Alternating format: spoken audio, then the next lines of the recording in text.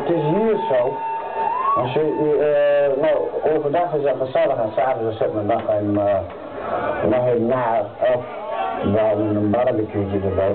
Maar dan heb je van die klootzakken hier ertussen zitten die de melden. Ik heb daar last van, ik heb hier last van. Weet je, zulke mensen die hier nergens een bejaarden hebben om toe zijn groen zo dus, ja, echt waar, ik meen het.